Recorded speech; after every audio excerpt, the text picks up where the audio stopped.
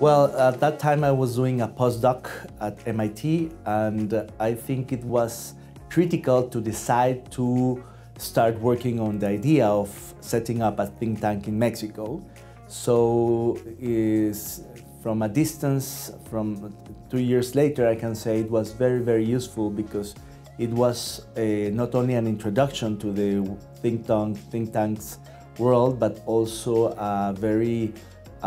specific training that gave me the, uh, the, the, tools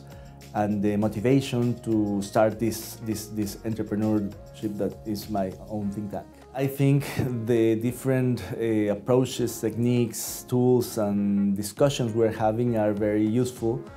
to, to those who are in the think tanking world. And specifically, I'm trying to understand what are the gaps, what are the challenges, what are the needs of my own organizations, organization, and I'm also uh, uh, in the possibility of talking to others and sharing experiences, asking questions, learning from others, and that's the, the reason to be here and not just taking an online course or, a, or, or reading a book. The difference is that you are interacting with others who are exactly doing the same thing or facing the same challenges.